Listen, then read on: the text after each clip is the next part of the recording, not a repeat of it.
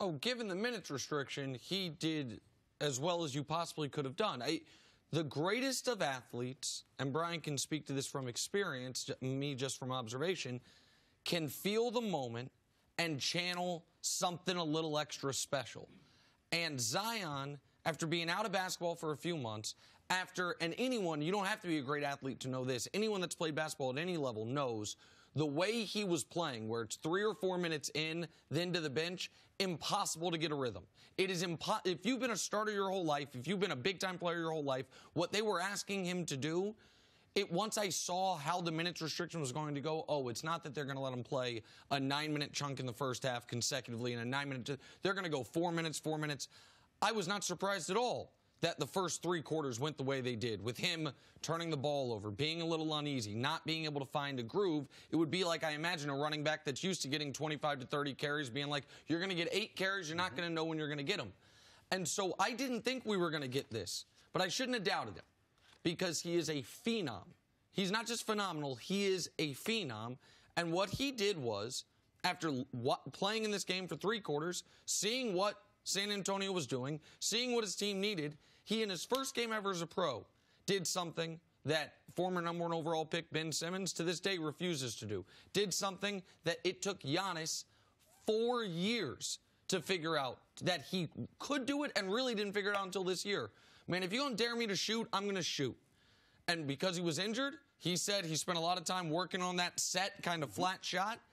And what he did was, in his first game ever, put his team on his back, pull them back into the basketball game, and if he was allowed to play longer, they would have won that game. He would have scored easily 25 points in the fourth quarter of a close game if he didn't have the minutes restriction. It was the exact way a player who I believe is going to be an all time great, his career should begin with an all time great debut it's funny that you mentioned that because my whole thought when I watched the game was that, you know, coming into the game, I said it's going to be very interesting to see how they integrate him into the basketball game. And really, early on, they didn't call any plays for him. For him, they try to make him get his points off the board, just find a way, just float around offensively. Then in the fourth quarter, he was like, "Okay, this is enough. I'm going to take advantage." And you're right. That's what superstars do. They say, "It's my time to shine, and now I need to do everything to help my team win." That's that clutch gene that everybody wants. The superstars actually have. The, the one thing I love about this team, coached by Alvin Gentry, is that you have usually when you have the number one player you go to the worst team, and you just got to try to find a way. LeBron in Cleveland, they just not about a lot of lot of very good players around him, and LeBron had to carry this basketball team. But this team, the Ingram can score. He's a consistent scorer. Jrue Holiday, Lonzo Ball can handle the ball, get great shots for everyone. Zion doesn't have to come in and carry the basketball team. That's probably the best thing for him as, as a rookie. You know you're going to be a superstar. I don't have to come in and do everything right away. That's going to be a great thing as far as the longevity of his career. Well, and this is, and I think this is the smarts of David of David Griffin and Alvin Gentry. And I don't know how many people noticed this, but did, in the introductions, in, in the NBA, the star of the team is introduced last, mm-hmm. and if there's two stars, the, the second best player goes first. They introduced Brandon Ingram first. They introduced Jrue Holiday last. They kept what they've been doing. Zion was introduced second. You might say, why does that matter? It matters for the same reason that he went to the podium with Jrue and that Jrue, a veteran, a very underrated player in this league, said, hey, man, this is going to be normal for you. This is going to be every night for the next 15 years. Get used to it. What the scrutiny, the intensity, the eyeballs on you. So they know he's going to have to deal with that, but they're not upping the ante with it by they're not no no no listen Ingram's having a great season. Jrue Holiday's our best player right now. You're you're one of the guys who's a starter and nothing more at least in that. And I think that's smart because he's Jenna you mentioned you hope he keeps the naivete to a degree. He almost assuredly won't because he's going to grow up and we all grow out of it to a degree. But he's a kid. Yeah. He, he's he's younger than my son who is uh, right now I I, I wonder how someone five years older than Zion should deal with this type of moment. And he's dealt with it as well as you possibly can, including saying to Gentry, Coach, we can win this game, leave me in. And credit to the Pelicans, they did the right thing. You got to think about the 15 year window uh, for his career and taking him out. But I thought it was great. I thought it was awesome to see. I thought it was great. One of the biggest things, and we talk about Zion, you really compare him to Ben Simmons, first overall pick as well. The fear of failure. To me, the fear, fear of failure has kept Ben from yes. shooting those jump shots and kept him from saying, I don't want to shoot anything outside of the lane. In Zion's first game, he said, listen, coming into the NBA, the question was my jump shot, my ability to shoot the three. He's willing to step up, line it up, four for four from the three point line. That was impressive. You talked about the eye test. I'm just curious because we hadn't really seen him in the last couple of weeks. How did he look to you physically? We worried about his weight and what would happen if he wasn't playing every day. How did he look to you, oh, eye test? I don't think his weight's in, in, any bigger than it was. Now, if people want to argue that he needs to get smaller than he was in college, I don't think he's really done that to a degree. He he looked like winded. He after his first four minutes, he looked winded. I don't think that's because he hasn't been training. I think that's just because you haven't been playing an NBA games. But I think Brian, the, the eye test of that he was not afraid to do the thing that he is worst at on the court. In fact, both those things. He was a willing passer early. He's not a great passer. And you saw it in the turnovers, but he was trying to defer. He was trying to do the right thing. And he is not a knockdown shooter. But it was to, you know, one of my favorite phrases, the right basketball play. If they're going to go under screens and dare you to shoot, the lane's going to be too clogged. So put them up. And if you're making them, keep putting them up. And it is his comps are, you know, Blake Griffin as far as when he came in the league. Man, it took years for Blake to be to start shooting three pointers. We've talked to Blake about I had to reinvent it. I'm not acting like Brian Zion's going to be a knockdown shooter, but that he will be a willing shooter if they dare him to shoot. That is going to open things up for him and for everyone on this team. It was after a preseason, remember, where he averaged, what did he do in the preseason? 23. 23 in 27 minutes a game on 71% from the field. First game ever, 22 in 18 minutes on 72% from the field. And by the way, do you think injuries are the only thing that can really keep Zion from being a, a Hall of Fame talent? Oh, yeah, I'll take a step further. Injuries are the only thing that will keep him from being an all-timer. And the NBA is wow. a little different than the NFL. I, the NFL, if you are in the Hall of Fame, you are an all-timer. Yes. The, the NBA, all the players in the Hall of Fame are great, but there is a separate wing, at least in my brain, of the the greatest of the great. The, the, you know, the top. The, remember the NBA old top 50 list? I think they're going to come out with a 75th anniversary top 75 list. There, there are a lot of guys not included in that that are in the Hall of Fame. Zion can be in one of those front rooms of that pyramid if he stays healthy.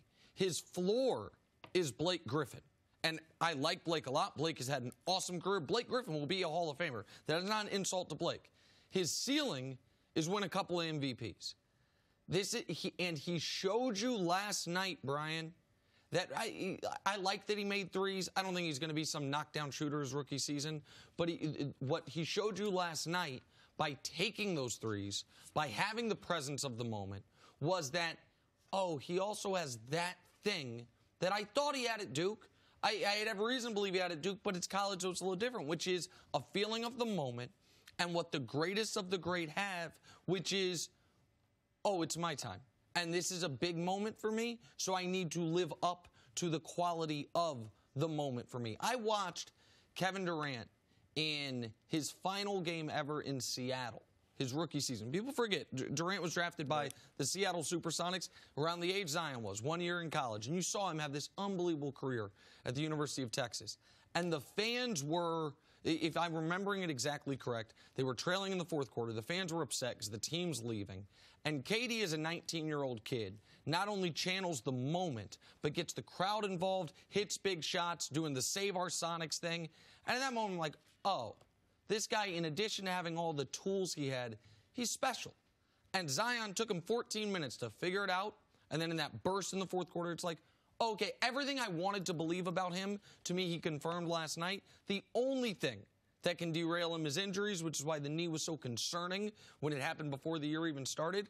But I mean, he, he checks every box you want for the next great NBA superstar. One of the things I hate about our superstars, and this is our business that we're in, is that we're trying to put these, this guy that's played one game, one game in his professional career in the Hall of Fame box already. And I think when you talk about his talent, you talk about how exciting, how athletic, the smile, the char- how charismatic he is. Obviously, he has the ability to make it to the Hall of Fame. He has a long way to go. Here, here's a couple things that I loved about what happened last night and the kind of show. First, he said, Canty mentioned it earlier, after the game, I love what I was able to do, but I wanted to win the game. That's the most important thing. The second thing is, is that he has a bunch of vets around him that are vested in him maturing and be better because they understand, even though Ingram has been going off, even though Ball has played very well, Jrue Holiday has done a great job, they understand if this guy gets on the right track, then this team takes the next, goes to the next level, competes for that eighth seed, maybe the seventh seed uh, in, in their conference. And the last thing was, when they're at that press conference, there was a reason why Jrue Holiday was sitting beside Zion yes. because he wanted to make sure that this 19 year old was leading and going in the right direction. When you have vets that kind of want to shape your future and you are as athletic and exciting as he is, it's hard to not be on that same type of Hall of Fame pathway that I think he is on already. And I think the NBA needed an injection of someone yeah. like Zion this season. We don't have the exact same storylines we had last year. He is all of that wrapped up in one, as you said, charismatic individual where, where it's must see TV. You're going to watch him play. And, and, two other notes quickly. One is this.